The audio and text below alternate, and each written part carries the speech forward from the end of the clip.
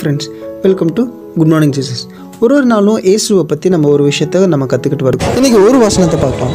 இருபத்தி மூன்றாம் சங்கீதம் நான்காம் வசனம் சொல்லுகிறது நான் மரண இருளின் பள்ளத்தாக்கிலே நடந்தாலும் புல்லாப்புக்கு பயப்படேன். ஏனெனில் தேவரீர் என்னோடு கூட இருக்கிறீர். உமது கோலும் உமது தடியும் என்னை தேற்றும்.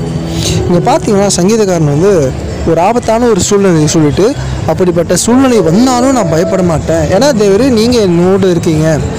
அதனால் நான் பயப்பட மாட்டேன் அப்படின்னு சொல்கிறத நம்ம பார்க்குறோம். ஆனால் அந்த ஆபத்து எப்படிப்பட்டதுன்னு பார்த்தீங்கன்னா மரணம் இருள் பள்ளத்தாக்கு. இந்த மூணுமே வந்து டேஞ்சர் தான். ஆனால் இந்த மூணுத்தில் ஏதோ ஒன்றுன்னு சொல்லலை. மூணுத்தையும் அடிக்கிட்டே போகிறாரு மரண இருளின் பள்ளத்தாக்கிலே. ஸோ இதை விட வேர்ஸ்டான சுச்சுவேஷன் வருமான்னு தெரியல. அப்படிப்பட்ட சுச்சுவேஷனையும் தாவீது சொல்கிறாரு நான் பயப்பட மாட்டேன். உங்களுடைய கோலும் உங்களுடைய தடியும் என்னை தோற்றும். மேப்பர் கையில் எப்பொழுதுமே கோழி தடி இருக்கும். வந்து ஆடுகளை போஷிப்பதற்காக வச்சுருப்பாங்க. தடி வந்து ஒரு ஆடு வழி தப்பி போகுது அப்படின்னா ஒரு சின்ன ஒரு அடி அடித்து வழிக்குள்ளே கொண்டு வரதுக்காக வச்சுருப்பாங்க.